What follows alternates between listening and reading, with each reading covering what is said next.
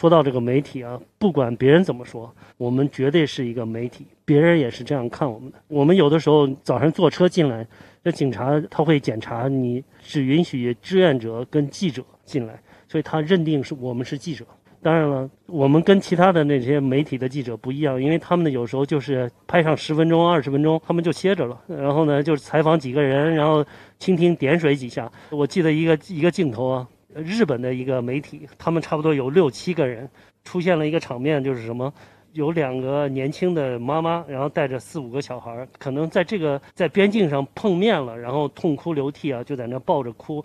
你说这时候我就看到了，他他们七个人，这个媒体这个角度就一窝蜂的冲上去，就对着人家拍摄，这是他们想要追求的这个新闻点。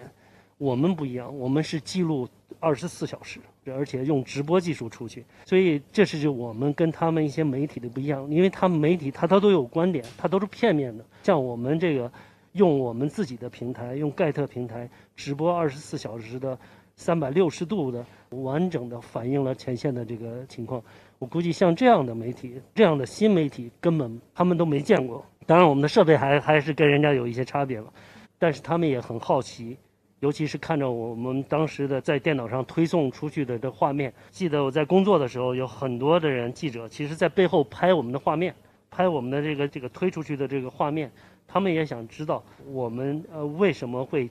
持续的坚持的在这拍摄，而且一直在在直播出去。然后我们当时也给他解释，我们在哪个 social media，在这个盖特上直播，这对一些传统的媒体来说，对他们来说也是一个崭新的东西。所以，其实我们的技术在一定的程度上，其实已经引领了整个整个媒体的转向，而不是像他们的蜻蜓点水。这个就是我们跟这些大媒体的差别。很多人就会问。说你们这个节目在哪里可以看到？然后我们说上盖特，赶快下载盖特哈。那个战地的那个音乐家，他马上就下载了，他那个几天之内就有四千多的粉丝，所以他也帮我们在他自己的盖特上转发郭先生 盖特那个现场直播。然后今天我们有采访到两位。从华沙来的埃及的学生，他们也问在哪里可以看到你们的节目。然后我们说你赶快下载盖特。所以我们现在在这个前线，我们也是把这个盖特